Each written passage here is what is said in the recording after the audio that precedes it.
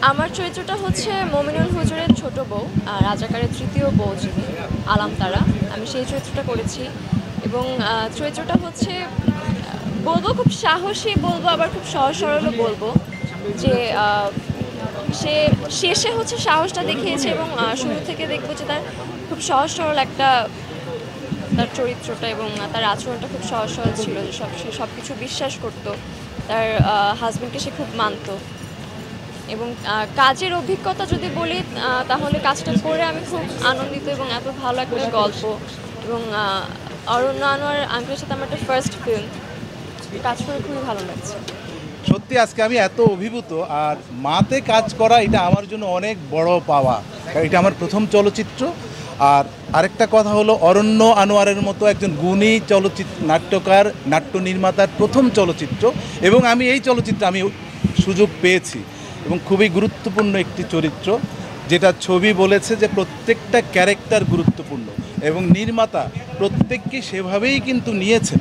এটা অনেক বড় প্রাপ্তি এবং আমরা চেষ্টা করেছি প্রত্যেকে প্রত্যেকের জায়গায় থেকে আমরা ভালো কাজ করার জন্য। আজকে দর্শক দেখে সত্যি আমি বের হওয়ার সময় আমি খুবই আবেগ আপ্লুত হয়ে গেলাম। পাশাপাশি দুঃখ লাগছে, ঢাকাতে আর কালকে থেকে সিনেমাটা চলবে না। আমরা যারা কাজ করি চলচ্চিত্রে, নাটকে, আমরা যারা শিল্পী, আমাদের কাছে দর্শক হলো ভগবান। আজকে দর্শক দেখে সত্যি আমি খুবই আনন্দিত এবং পাশাপাশি খুব দুঃখ প্রকাশ করছি। আমরা হল পাইনি। কেন পাইনি জানি না। আমার আমার পরিচালক বলেছেন, এর গুঁড়ো রহ- রহস্যকে আমরা বলতে পারব না। এই একটি চলচ্চিত্র প্রথমবারের মতো কানে বাংলাদেশের অফিসিয়াল চলচ্চিত্র হিসাবে নমিনেটেড ছিল।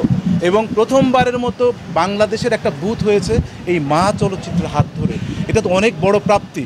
বাট আমি আবারও বলব, যারা কর্তৃপক্ষ আছেন, আমাদের শিল্প, সংস্কৃতি, আমাদের, আমি বলব উঁচু মহলে, আমার পরিচালক তো কোনো অ্যাপ্রিসিয়েশন পেল না।